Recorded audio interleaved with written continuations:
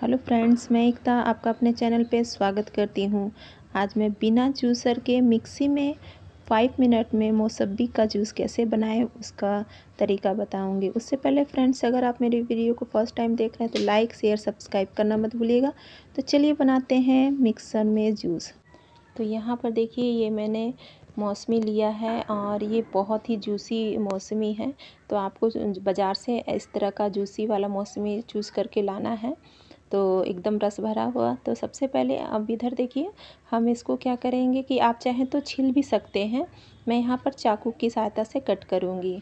तो देखिए मौसबी जो है बहुत ही फ़ायदेमंद होता है और रोज़ रोज़ हमको जूस मौसबी वाले के यहाँ से जूस निकलवाना या फिर आपको इसके लिए जूसर चाहिए होता है। तो आज आप, मैं बहुत ही इजी तरीका बता रही हूँ कि आप मिक्सी में कैसे बना सकते हैं।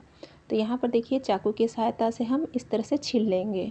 बहुत ही आसानी से ये छिल जाता है। तो ये देखिए इस तरह से हम सारे मौसमी को चाकू की सहायता से ऐसे छिल लेंगे। बहुत ही हेल्दी होता है, हमारे पाचन तंत्र को सुधारता है और कोलेस्ट्रॉल को कम करता है। आँखों के लिए ये बहुत ही फ़ायदेमंद है। तो ये काफ़ी हेल्दी होता है। हमें इसके जूस को भी आपका पीने का तरीका होता है कि इसका जूस आप कब पिएँ। तो इस तरह से देखिए, दूसरे वाले को भी हम ऐसे ही छील लेंगे। तो ये देखिए, इस तरह से हम दूसरे वाले मौसम्बी को छील लेंगे।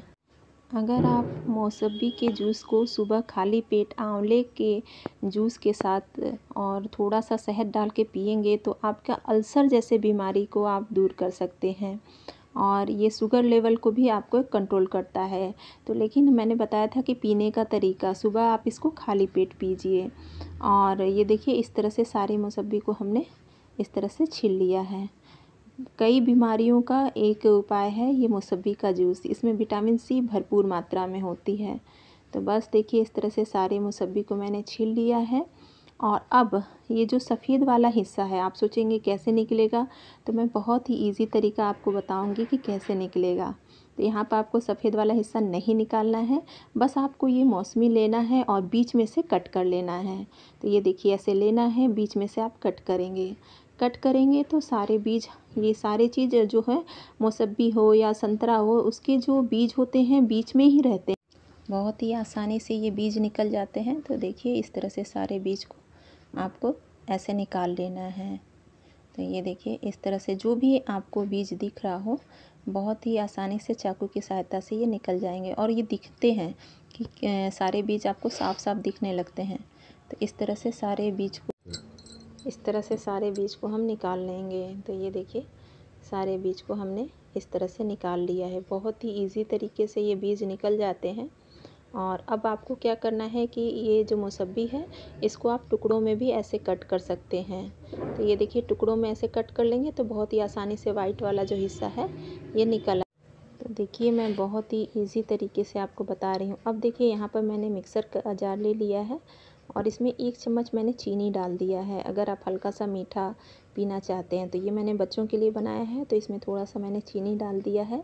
तो अब देखिए, इसके वाइट वाले हिस्से जो हैं, बहुत ही ईजी तरीके से निकल आ रहा है। ये देखिए, नहीं तो दूसरा तरीका मैं बता रही हूँ। आप मौसमी लीजिए, ऐसे हाफ़ कट किए थे, इसके बीच में भी आप ऐसे कट कर लीजिए।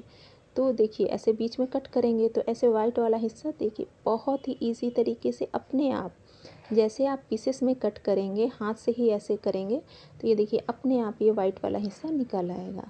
तो इस तरह से आप हाथों से टुकड़ों टुकड़ों में कट कर लीजिए। तो देखिए इस तरह से पीसेस में मैंने कट कर लिया है। तो अब हम इसको मिक्सर के जार में डाल के इसको पीस देंगे। तो यहाँ पर देखिए आपको पानी शुरुआत में नहीं ऐड करना है। तो पहले आप इसको एक बार ऐसे चला लीजिए।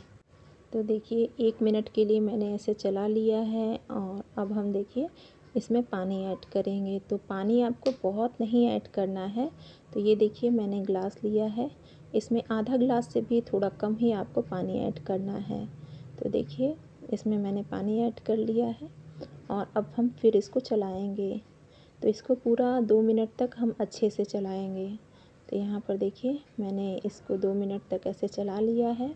देखिए, ये मौसमी का जूस एकदम रेडी हो चुका है और अब हम इसको छानेंगे। तो ये छानने के लिए हमने इस तरह की बड़ी सी छन्नी लिया है और अब हम इसको देखिए, इसको डालेंगे। तो बहुत इसमें जो एक दो बीज भी रहते हैं, वो भी आपको आसानी से निकल जाते हैं। तो ये देखिए, बहुत ही गाढ़ा ये आपको दिख रहा होगा, बहुत ही गाढ़ा जूस, बहुत ही परफेक्ट तरीके से निकल गया है। तो अब इसको हम चम्मच की सहायता से ऐसे दबा दबा के जूस को निकाल लेंगे।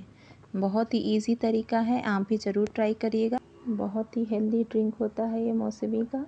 और इसको इजी तरीके से कैसे बनाएँ वो मैं बता रही हूँ। तो अब देखिए, ये जूस एकदम रेडी हो चुका है। और जब ये जूस बन जाए तो इसको आप 10 से 15 मिनट में तुरंत बना के पी लें और अगर आप चाहें तो इसमें भुना हुआ जीरा या काला नमक डाल सकते हैं। तो देखिए, ये टेस्टी हेल्दी मौसमी का जूस मिक्सर की जार में पाँच मिनट में एकदम रेडी हो चुका है। आई होप कि आपको ये रेसिपी ज़रूर पसंद आई होगी।